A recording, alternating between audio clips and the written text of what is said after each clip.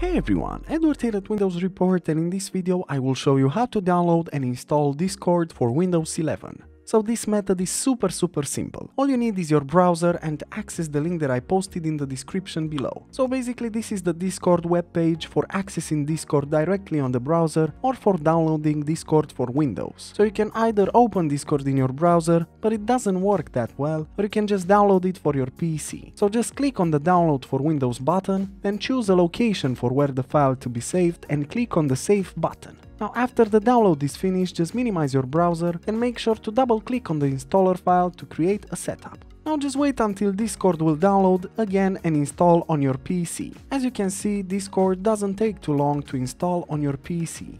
And that's it. Super simple, isn't it? As usual, for more information and details, you can check the article in the description below.